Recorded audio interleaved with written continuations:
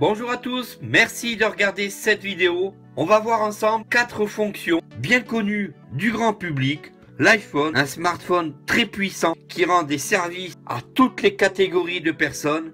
Et aujourd'hui, je voulais vous parler de quatre fonctions essentielles et qui permettent à beaucoup de personnes de pouvoir se servir des nouvelles technologies et surtout donc de l'iPhone. La première fonctionnalité qui peut se servir d'un iPhone, les personnes déficientes visuelles. C'est-à-dire que ce sont les personnes mal ou non voyantes. Oui, l'iPhone est compatible. Dans cette vidéo, je vais vous montrer différentes façons de fonctionner avec l'iPhone. Quatre fonctions qui vont vraiment vous épater. La première fonctionnalité, VoiceOver. Un lecteur d'écran dédié à l'iPhone, l'iPad, l'iPod compatible tout système iOS. VoiceOver est un lecteur d'écran qui va lire l'intégralité de ce qui va se trouver sur l'écran de l'iPhone. VoiceOver, la technique pour l'activer et le désactiver, la voici dans un premier temps vocalement. On va se servir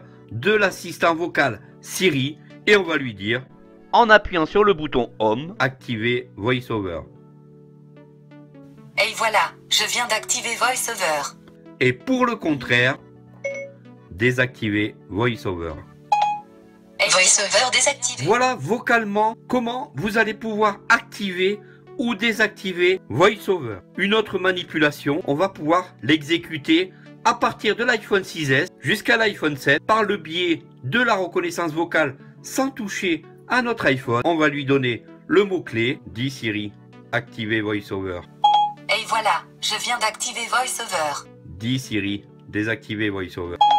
Et VoiceOver désactivé. Voici donc la deuxième technique à partir de l'iPhone 6S jusqu'à l'iPhone 7. La troisième technique, on va pouvoir l'activer sur le bouton Home, le bouton tout en bas de votre iPhone, en faisant ce qu'on appelle un triple tap sur ce bouton. 1, 2, 3. VoiceOver activé. Ici, on retape trois fois rapidement. VoiceOver Et désactivé. la dernière possibilité d'activer VoiceOver, cela va être d'aller dans Réglages, Général, Accessibilité et VoiceOver. Réglage.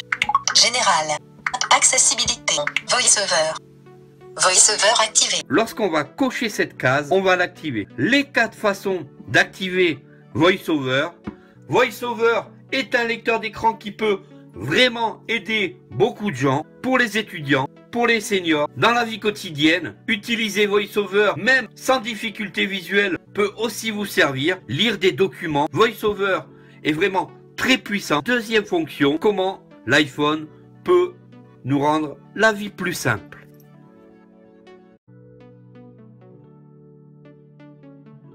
L'iPhone et le braille, photo d'une plage braille 14 caractères et l'iPhone 7.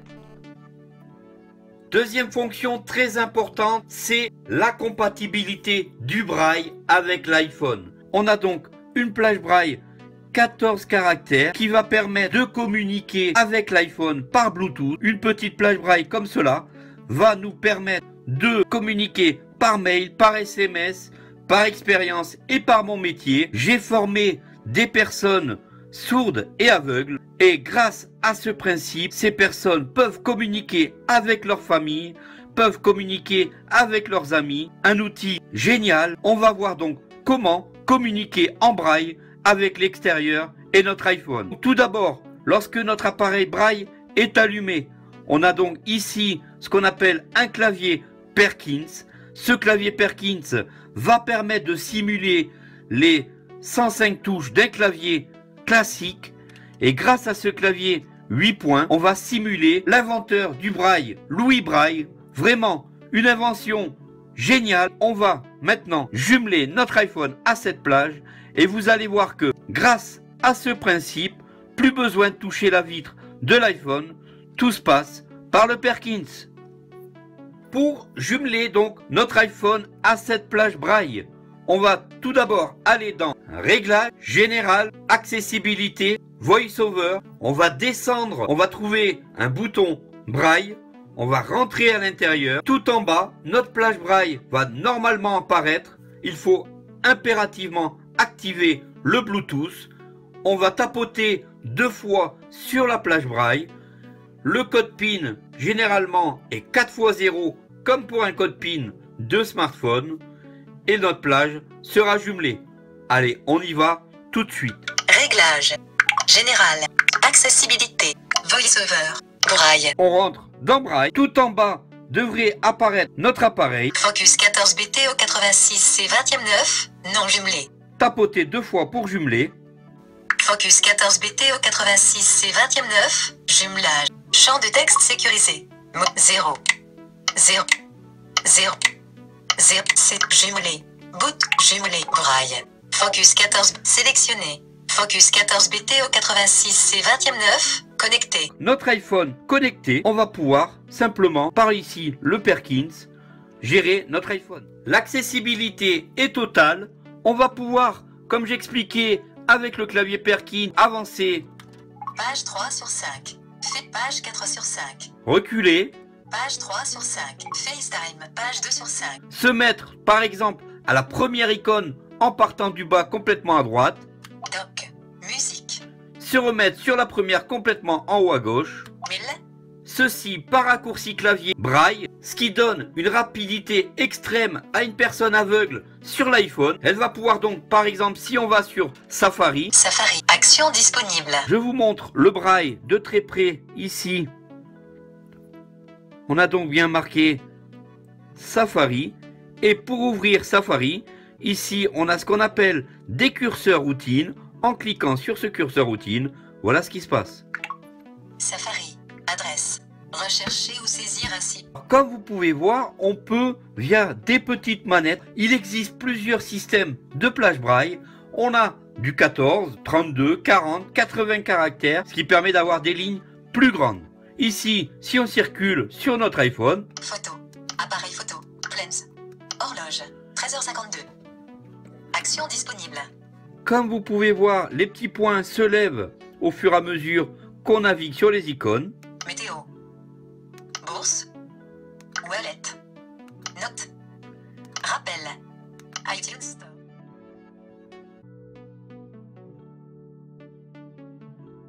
Troisième fonction, la fonction de grossissement. La fonction de grossissement va permettre à des personnes malvoyantes de pouvoir zoomer par le biais de gestes comme VoiceOver. D'ailleurs, la gestuelle est spécifique.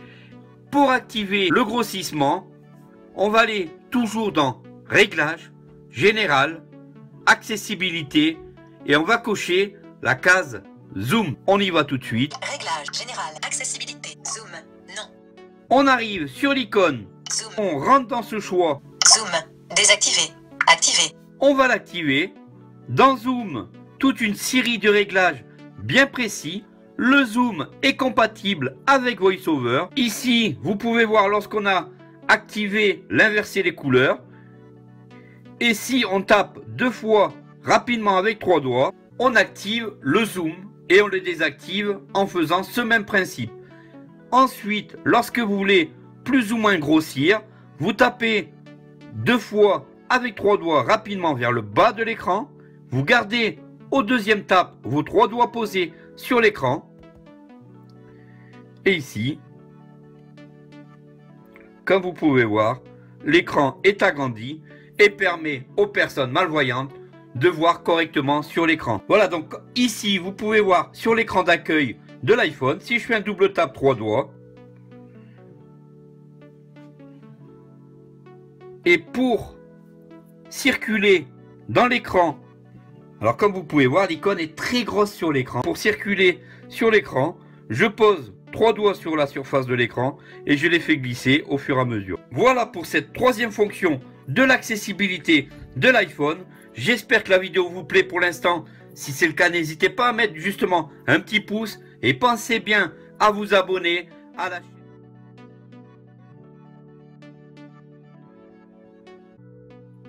Voilà, et comme au tout début, je vous avais montré le système de la plage braille, si vous n'avez pas votre plage braille avec vous, vous n'êtes pas à l'aise avec le, clavier AZERTY, vous avez une possibilité de simuler un clavier Perkins sur l'écran de l'iPhone, dans le rotor de VoiceOver.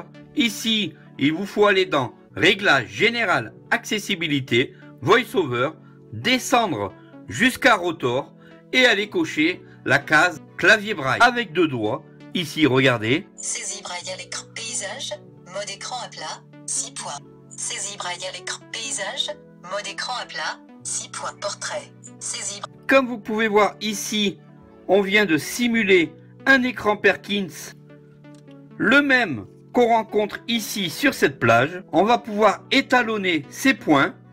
Mode écran levé.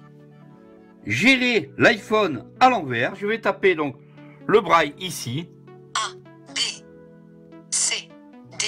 On va pouvoir taper sur notre écran d'iPhone en toute accessibilité. Voilà, je pense que pour beaucoup des abonnés, abonnés à la chaîne, qui sont des personnes déficientes visuelles, vous connaissez certainement tout ce que j'ai présenté. Je tenais à présenter cette vidéo pour des gens qui ne connaissent pas du tout l'accessibilité de l'iPhone. Je voulais regrouper intégralement l'accessibilité des personnes déficientes visuelles dans une seule vidéo.